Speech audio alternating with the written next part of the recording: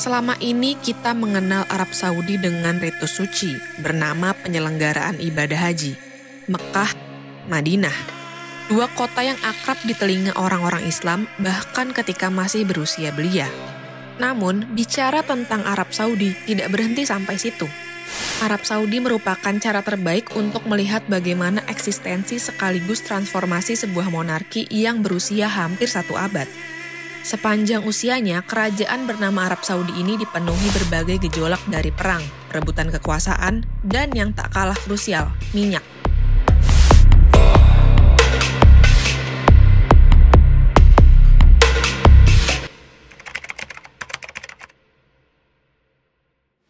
Jazirah Arab pada masa silam adalah wilayah yang terasing, selain miskin sumber daya dan gersang belaka. Hampir tak ada yang menarik dari Arab Saudi, kecuali fakta bahwa wilayah ini adalah penjaga dua kota suci bagi umat Islam, Mekah dan Madinah. Kondisi itu barangkali yang hanya menjadi daya tawar, sehingga pemerintah kolonial Inggris dan Kesultanan Ottoman bersedia menempatkan pasukannya di sana. Selain urusan haji, kepentingan rezim kolonial Inggris ialah mencegah bersatunya negara Arab, sebab pasti bakal mengancam posisi mereka. Masyarakat Arab waktu itu juga hidup dalam suku-suku yang cukup menonjol, Baduy. Suku Baduy, sebagai contoh, dikenal karena kegiatan berkebun dan beternak untuk memperoleh uang. Mereka juga mengelola sumber mata air dan aktivitas perdagangan di pasar-pasar lokal. Di luar Baduy, ada kelompok lain yang menonjol. Mereka klan Saud yang berdiri pada 1720 di Diryah, dekat Riyadh. Pengaruh Saud kian menguat selepas menjalin aliansi dengan para pengikut Wahabi. Inilah yang menjadi cikal bakal berdirinya kerajaan Saudi. Keluarga Saud diwakili oleh Muhammad bin Saud dan para pengikut Wahabi bertumpu kepada sosok Muhammad bin Abdul Wahab. Keduanya bersekutu pada 1774 dengan kesepakatan bahwa klan Saud akan menerapkan ajaran Wahabi dan pihak Wahabi bakal memberikan justifikasi dalam sudut agama sehubungan upaya perluasan kekuasaan. Dengan kata lain, menyingkirkan mereka yang menolak ajaran Wahabi tak masalah karena dilindungi agama. Inti dari ideologi Wahabi sendiri adalah mengembalikan kemurnian Islam seperti pada masa awal abad ke-7. Maka, implementasinya yakni melalui pemberlakuan hukum syariat yang ketat. Wahabi di saat yang sama juga menolak Ottoman dan para kolaboratornya. Bagi Wahabi, Ottoman dekaden dan bukan lagi musim sejati. Persekutuan Saud dan Wahabi terus berjalan. Mereka memperluas wilayah pendudukan dari Diriyah melebar ke segala arah.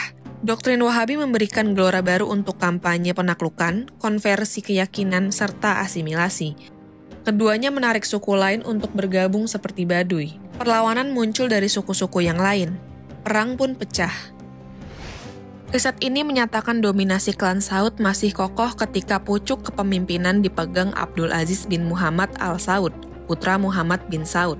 Mereka mengumpulkan modal dari pajak, zakat, atau hasil jarahan perang yang kelak dipakai buat melebarkan konsolidasi politik. Di seluruh wilayah kekuasaannya, klan Saud menerapkan kebijakan yang membantu memusatkan kekuatan mereka. Dinasti tersebut misalnya, secara bertahap mengganti emir di daerah yang baru ditaklukkan dengan orang-orang satu lingkaran yang setia. Hal ini bikin Ottoman geram, merasa terancam, Ottoman meluncurkan serangan ke Saud berbekal 10.000 pasukan. Sayang, serangan itu gagal sebab kendala komunikasi maupun medan. Ekspansi klan Saudi lalu meluas ke barat dan berhasil merebut Mekah serta Madinah. Di dua lokasi itu, doktrin Wahabi diberlakukan menyeluruh yang memantik reaksi agresif dari Ottoman. Kecamuk perang baru-baru benar bisa mereda pasca Perang Dunia I yang ditandai kolapsnya Ottoman, kolonialisme Inggris, sampai kemenangan klan Saud di berbagai pertempuran. Pada 1932, Abdul Aziz bin Saud setelah menyatukan suku-suku yang sempat berkonflik, mendirikan Arab Saudi dengan ia sebagai raja pertama. Meski sudah lepas dari konflik peperangan, masalah kerajaan tak otomatis hilang yang mengusik monarki waktu itu kesejahteraan masyarakat Arab. Isu ini langsung mendapat jawaban dalam wujud minyak. Eksplorasi minyak di Saudi sudah dimulai sejak 1920-an. Hasilnya baru terlihat pada 1930-an, tatkala ahli geologi AS, Carl Twitchell, menemukan potensi cadangan minyak besar di wilayah timur. Pihak kerajaan antusias dan memberikan konsesi kepada AS untuk melanjutkan penggalian. Perusahaan minyak patungan dua negara juga dibentuk, Aramco. Imbalannya, AS diminta memberi bayaran uang tunai serta pinjaman ke Saudi. Pada 1938, Aramco memulai produksi minyak komersial di Dahran dengan kapasitas 500.000 barel per tahun. Pemilihan AS menjadi partner bisnis bisa dibilang unik. Pasalnya, di wilayah Arab dan semenanjung Persia, pemerintah kolonial Inggris yang berkuasa. Inggris memperoleh sejumlah konsesi di Kuwait, Bahrain, hingga Irak. Bagi Ibnu Saud, Inggris dianggap tidak fair dalam berbisnis. Belum lagi bicara perkara sentimen masyarakat Arab ke Inggris yang negatif. Pasca Perang Dunia II, produksi minyak Saudi melonjak. Begitu pula pendapatan negara yang sentuh 50 juta US dollar. Di waktu yang sama, rupanya minyak turut bikin kesenjangan, yang kaya makin kaya dan yang miskin makin terjerembab. Raja Saud misalnya memilih membagi kekayaannya dari minyak untuk pribadi dan keluarganya. Monarki Saudi seperti diguyur uang tunai yang belum pernah terjadi di masa lalu. Makin besar uang minyak, makin kuat posisi Saudi sebagai negara. Pada 1960-an, 80% pendapatan negara berasal dari minyak. Dengan kekuatan itu, OPEC berdiri dan bertujuan mengendalikan produksi minyak global. Di titik ini, minyak tidak cuma komoditas, melainkan alat politik. Pada 1973, negara-negara dalam OPEC melakukan embargo minyak ke AS yang mendukung Israel di Perang Arab-Israel. Harga minyak naik tiga kali lipat dari 3 US dollar per barel menjadi 11 US dollar. Saat perang Iran-Irak meletus, Saudi merapat ke Irak karena melihat Iran yang lebih mengancam. Saudi memberikan bantuan berbentuk uang. Di sisi lain, Saudi menaikkan harga minyak supaya melemahkan finansial Iran. Ketika Afghanistan diinvasi Uni Soviet pada 1980-an, Saudi mengucurkan miliaran US dollar untuk persenjataan dan kemanusiaan. Dalam konteks penjajahan Israel atas Palestina, Saudi turut mendanai organisasi pembebasan Palestina. Nah, kalau kamu bertanya dari mana Saudi mendapatkan uang buat mensupport aktivitas mereka dalam geopolitik Timur Tengah, minyaklah jawabannya. Dalam banyak hal, posisi Arab Saudi ditentukan dan dibangun berdasarkan kekayaan minyaknya. Minyak dan pendapatan ekspor mereka merupakan landasan utama bagi model pembangunan politik dan ekonomi, juga kontrak sosial antara dinasti penguasa dengan masyarakatnya. Pendapatan dari minyak, bukan pajak, telah memodali Saudi dalam konteks pembangunan infrastruktur, lembaga negara, hingga nantinya paket layanan untuk kesejahteraan warganya. Suksesi kerajaan di Saudi dilakukan berdasarkan garis darah keturunan dari saudara atau anak, dan suksesi terkadang tidak berjalan secara mulus. Ada intrik maupun pertumpahan darah. Pada 1975, Raja Faisal dibunuh keponakannya sendiri, Pangeran Faisal bin Musaid dengan motif yang masih misteri. Saat berkuasa, Faisal dipandang berhasil mengubah citra Saudi menjadi negara modern berkat keberadaan minyak, menjauhkan kesan feodal yang melekat pada kepemimpinan Raja Saud. Berbeda dengan para pendahulunya, pemerintahan Raja Faisal bukanlah sistem yang seluruh keputusannya bergantung pada sosok raja.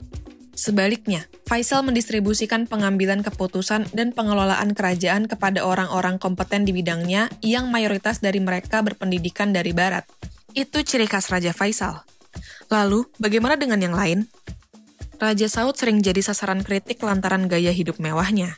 Kemudian Raja Khaled dikenal memberikan kontrol luas kepada pemuka agama konservatif dalam urusan pendidikan. Lalu Raja Fahad menjadi bukti betapa hangatnya relasi Saudi dengan AS. Sementara Raja Abdullah dan Raja Salman populer berkat reformasi ekonomi yang mereka ambil buat kepentingan Saudi. Kini, nasib kerajaan berada di tangan Muhammad bin Salman, anak tertua Raja Salman yang ditunjuk jadi putra mahkota pada 2012. Pemilihan MBS panggilan populernya menggeser jatah Muhammad bin Nayef, sepupu Raja Salman. Suksesi kepada MBS dijalankan setidaknya sejak 2015 ketika ia diberi jabatan strategis seperti Menteri Pertahanan. Seiring waktu, kekuatan MBS kian membesar. Upaya memperbaiki Saudi getol ditempuh, dan ini termanifestasi melalui visi 2030. Inti visi 2030 ini ialah melepaskan Saudi dari jerat ketergantungan minyak. Pemerintahan MBS membuat konser musik, kota-kota baru, melebarkan startup, sampai berinvestasi besar dalam kompetisi sepak bola. Rezim MBS juga memperbolehkan perempuan menyetir mobil dan bekerja di bidang yang selama ini dikuasai laki-laki. MBS disebut reformis dan perlahan kebijakannya membuahkan hasil. Data IMF menyebutkan bahwa pertumbuhan sektor non-minyak naik sejak 2021 dan sentuh 5% tahun kemarin. Meski mengesankan, ada sisi gelap di balik rezim MBS. Ambisi berkuasa MBS bikin ia memerintah negara layaknya seorang tangan besi. Pada 2018, dunia dibikin geger oleh tewasnya jurnalis The Washington Post, Jamal Khashoggi. Khashoggi dibunuh di konsulat Saudi di Turki dengan tubuh yang dipotong.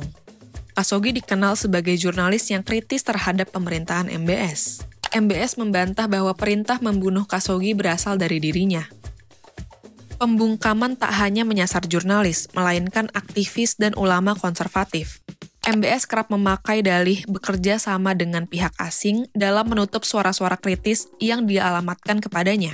Pada 2017, MBS melakukan gebrakan yang bikin publik kaget. Ratusan pejabat serta elit kerajaan diciduk karena dugaan korupsi. Salah satu yang kena gelombang penangkapan adalah Pangeran Al-Walid bin Talal. Penangkapan ini disebut bermotif politik untuk konsolidasi kekuatan MBS. Tak kalah kontroversi, di rezim MBS pula Saudi agresif menggempur Yaman. Keterlibatan Saudi dalam perang sipil Yaman muncul setelah kelompok Houthi merebut ibu kota sana pada 2015. Saudi lalu bergerak sebab meyakini Houthi dibekingi Iran yang notabene jadi rival Saudi dalam perebutan proksi di Timur Tengah. Kampanye Saudi di Yaman telah menciptakan bencana kemanusiaan terburuk. Kelaparan dan kematian muncul silih berganti dipicu serangan maupun blokade yang dilakukan Saudi. Kisah kerajaan Saudi kompleks belaka. Ia tak cuma melibatkan gelimang kekayaan dari minyak, tapi juga saling rebut kekuasaan, pembungkaman, dan darah orang-orang sipil yang mengucur.